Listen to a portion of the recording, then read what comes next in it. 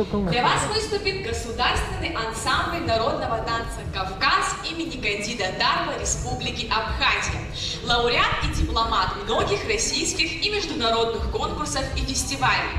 В 2003 году Мировая ассамблея общественного признания наградила коллектив золотой медалью и дипломом с присвоением почетного звания лауреата Артиады народов России. Ансамбль был создан народным артистом республик Абхазия и Южная Осетия, кавалером Ордена Дружбы Народов, блестящим балетмейстером, кандидом Тарасовичем Тарко в 1994 году в память о погибших за освобождение Абхазии в дни Отечественной войны.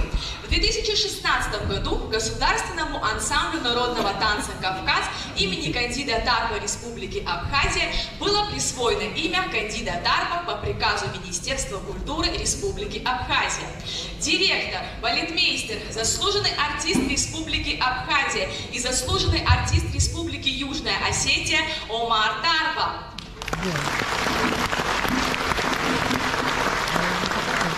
Художественный руководитель Государственного ансамбля народного танца «Кавказ» имени кандида Дарба Республики Абхазия, кавалер Ордена Чести и Славы Третьей степени, народный артист Республики Абхазия и заслуженный артист Республик Карачаева-Черкесия Южная Осетия Арбелот Дарба.